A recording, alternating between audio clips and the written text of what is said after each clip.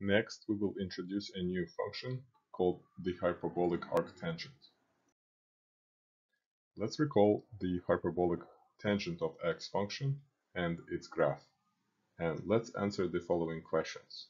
Is this function one-to-one? -one? The answer is yes, because it passes the horizontal line test. Does this function have an inverse?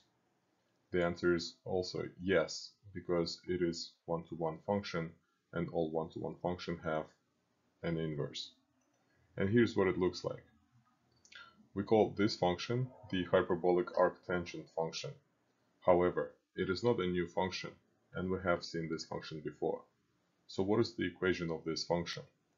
Let's find out.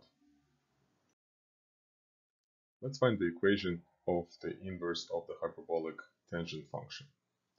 To find the inverse, we first swap the x and y in the equation. And now, the goal is to isolate the y variable. We multiply both sides by the denominator. Then we distribute everything on the left-hand side. We combine the like terms and we factor the left-hand side.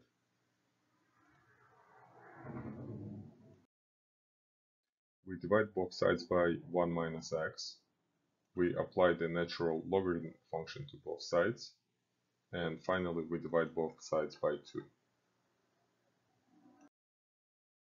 So we found the equation for the hyperbolic arctangent function.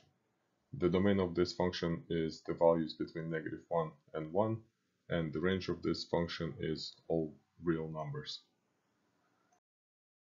We introduced a new function called the hyperbolic arctangent and discussed some of its properties.